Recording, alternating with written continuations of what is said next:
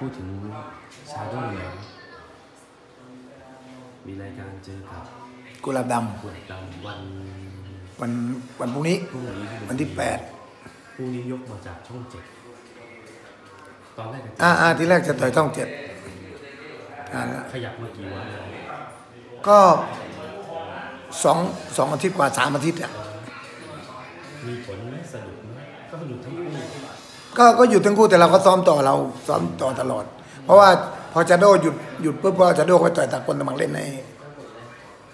ให้อ่าชิงแชมป์ประเทศไทยให้กับกองทัพกองทัพกองทัพอากาศเจกุหลาบดำไปเลยบ้างครับก็สนุกอะดูว่าแก้เกมมาแบบไหนอะไรยังไงบ้างครับเจอกุหลาบดำกำปั้นหนักมากไอ้ของเขามันแรงอยู่แล้วเขายอดมวยแต่เพิ่งขึ้นมาแต่ว่าก็คงจะดีกว่าครั้งที่แล้วเพราะว่า ครั้งที่แล้วเราเรากระดูกกระเดี่ยวเรายังไม่ถึงขนาดนี้ การประทะการอะไรยังไม่เนี่ยช่วงนี้ดีขึ้นที่กัดเท่าไหร่อะครับร้อยสี่สิบเอ็ดร้อยสิบเอ็ดนี่คุณมาเยอะไหมครับก็พอสมควรเพราะว่ากลางวันเราต่อยตีบสองได้กลางคืนตีบเอ็ดไม่มีปัญหาทีแรกพิกัดกันช่องเจ็ดร้อยสิบสองทำทั้งหมดกิโลครับไฟล์เนี้ยที่คุณคุมมา